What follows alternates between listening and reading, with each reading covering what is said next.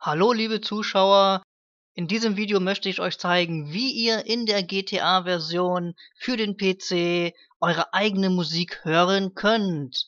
Das geht ganz einfach. Ich wollte es eine Zeit lang nicht machen, weil ich es nicht so wichtig fand, aber es ist doch richtig geil.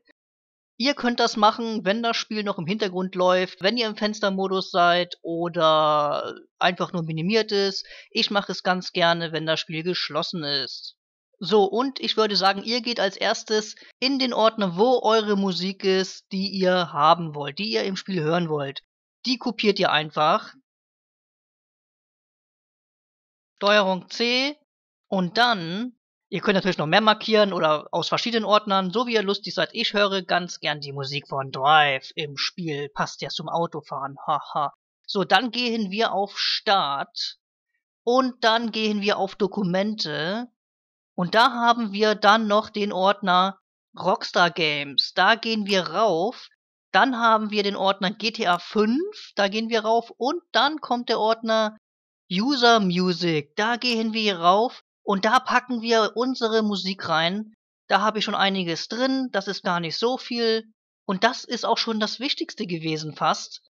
Dann gehen wir einfach ins Spiel. So, und wenn wir dann im Spiel sind, gehen wir ins Menü das mit der Musik funktioniert natürlich auch im Story-Modus und im Online-Modus. Also wir gehen auf Einstellungen. Dann gehen wir auf Audio. Alter! Was ist hier los?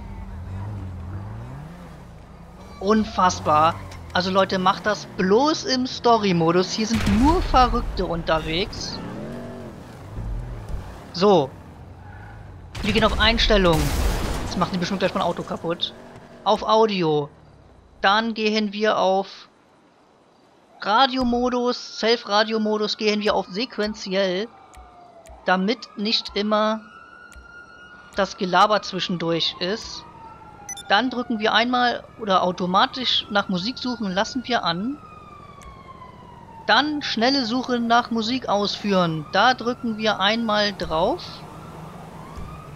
Und dann einmal auch komplette Suche nach Musik ausführen. Da drücken wir auch einmal drauf. So, und wenn wir dann ins Auto steigen... Jetzt haben die mein Auto kaputt gemacht. So, wenn wir dann im Auto sind...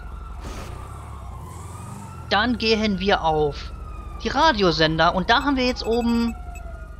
Self Radio. So.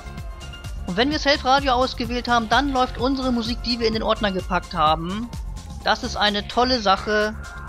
Und dann können wir schön Schubrakete geben. Ich hoffe, ihr habt das so einigermaßen verstanden, was ich euch gezeigt habe. Viel Spaß dabei. Oh, Handbremse muss ich noch lernen. Oh, hier ist noch ein Zombie.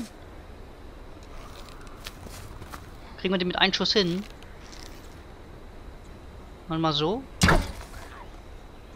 Was?